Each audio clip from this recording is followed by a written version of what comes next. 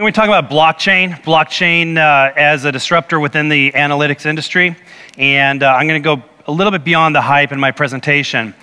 Um, first off, I'm very pleased to be here in Ireland, and I want to thank the sponsors and organizers of this event.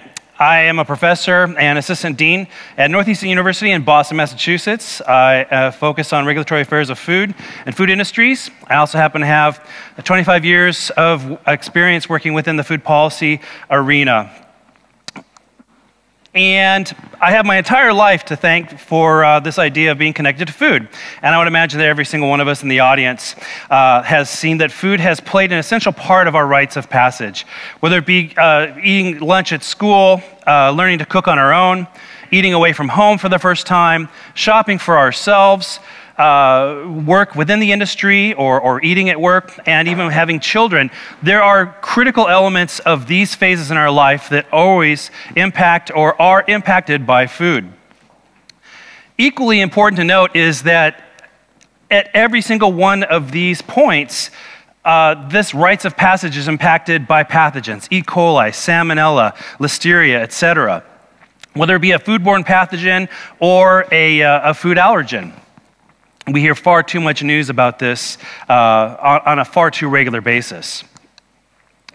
But these incidents, these crises, uh, become crises that, that capture public attention. If we look at this in terms of a policy view, what do these incidents or crises look like? These are the real faces that I've worked with these families uh, for over 25 years in terms of what does it look like when we go beyond the statistics, we go beyond the pie chart, the data, and we look at an actual face, a name, a story, a family that is impacted. In some cases, it may be uh, temporarily, in some cases, catastrophic. The majority of these faces you see here are those who are dealing with a chair forever empty at the family table. When we look, uh, the red line shows you this idea of how during monitoring stages after an event, when there is public attention, there are many companies. And I, again, I, I do want to talk about uh, companies in terms of the fact that there are so many companies that do the right thing every point. They prioritize, they invest, and they really uh, uh place consumer safety as a very important part of their mission. But not all companies will make changes during this period of time. Some will wait until there are court cases, there's litigation, there's legislation, changes in regulation and oversight. This is when you see, unfortunately, a vast majority of companies make those deci- uh, decisions to change their protocols, to recall products, to stop doing what they're doing, that essentially enables a, a failure within the supply safety system. If you look at this over time, the more time that takes place after an event takes place, after that public attention uh, to the incident, we have a decrease in options, while at the same time, we have an increase in liabilities.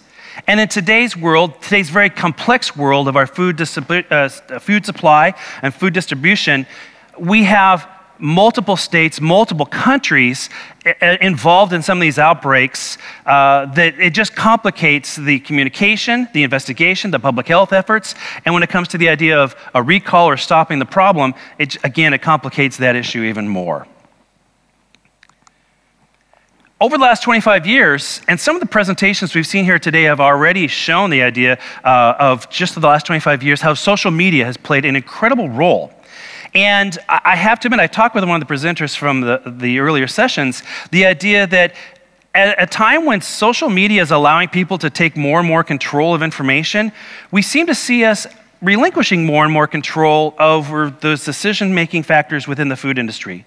We tend to buy food. Uh, out, uh, and consume food out of the home, buy from retail. We have food distributed to us. We eat ready to eat foods or commercially packaged foods. Less and less uh, of, of our consumers are eating food that they've grown themselves. They know where it came from. They know how it was processed. They know how it was packaged, and even how, and even knowing where they bought it from. So as we have relinquished a lot of control with food, we've taken back some of that control in terms of the information.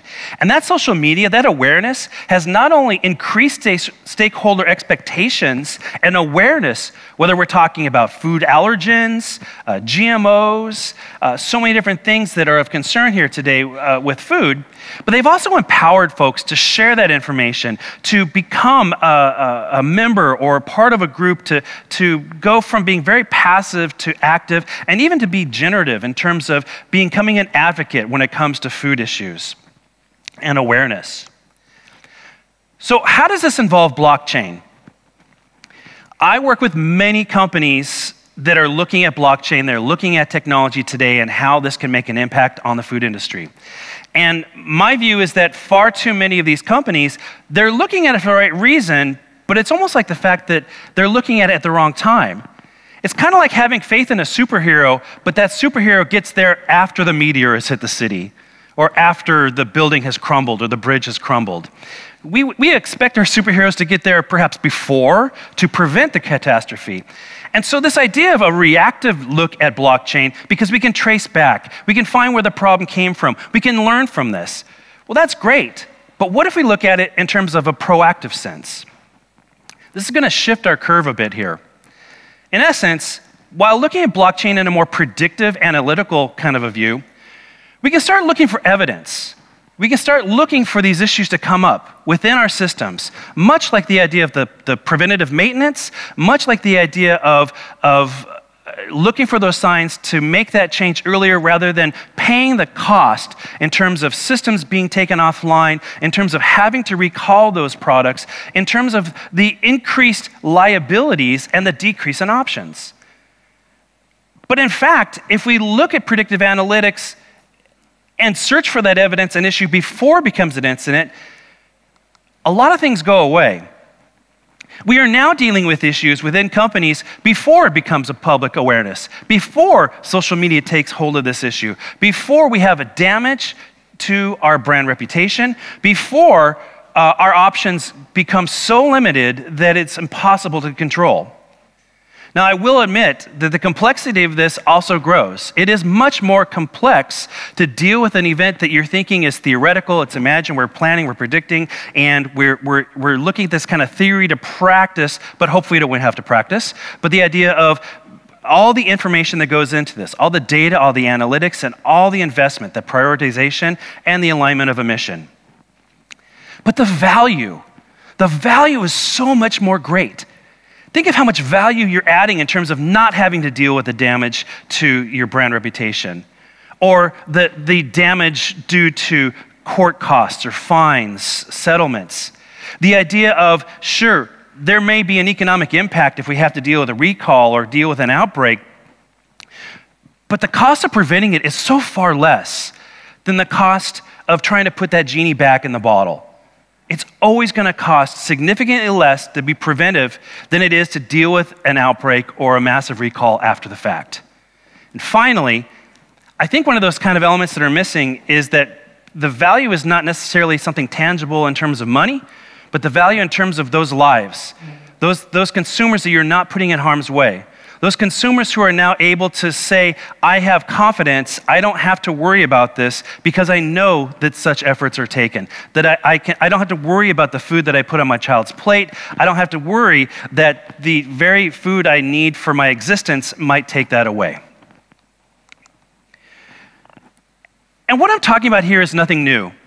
As early as 1906, after Upton Sinclair's book, The Jungle, the London Daily Times, in their review, said that the things described by Mr. Sinclair happened yesterday, are happening today, and will happen tomorrow and the next day until some Hercules comes to cleanse the filthy stable.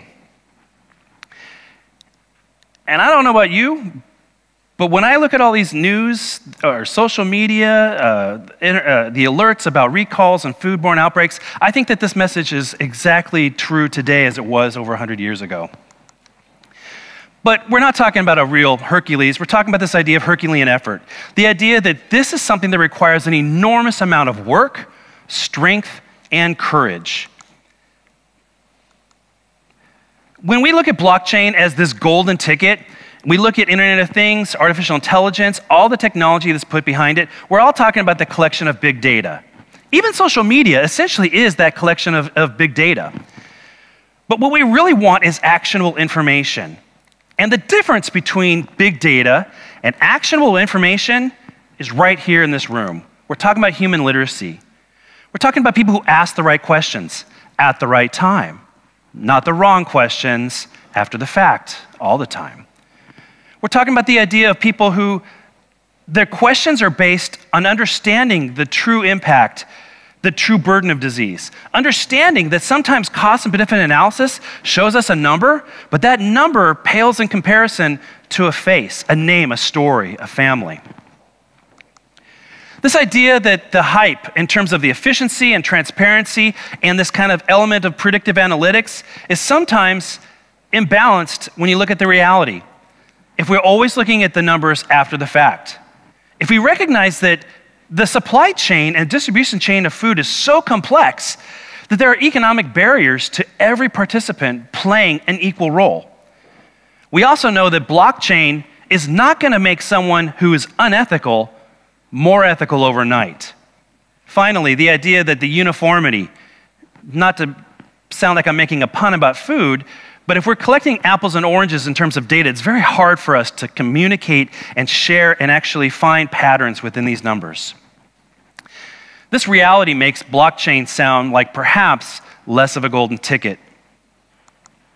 So we got to look at the intersection between data literacy, technological literacy, and human literacy. I'm very encouraged by the fact that I've heard this probably five times on this stage alone uh, today.